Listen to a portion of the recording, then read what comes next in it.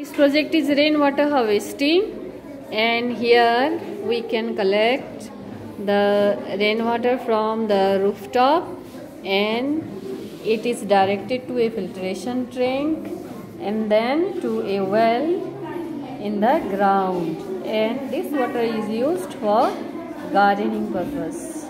This is nicely made